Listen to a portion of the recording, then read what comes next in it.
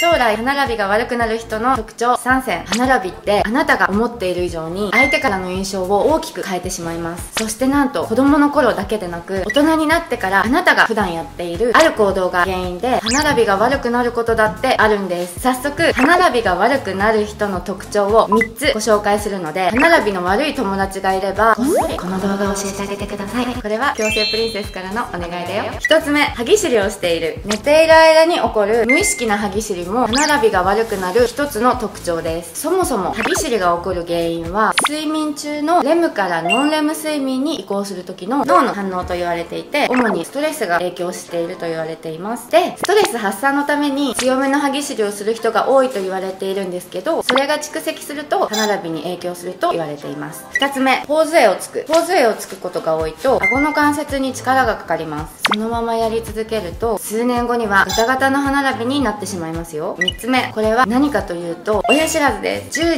人いれば7人が斜めか横に生えてくると言われており親知らずが生えきる前に対処をしないとどんどん歯並びが悪くなってしまいますよ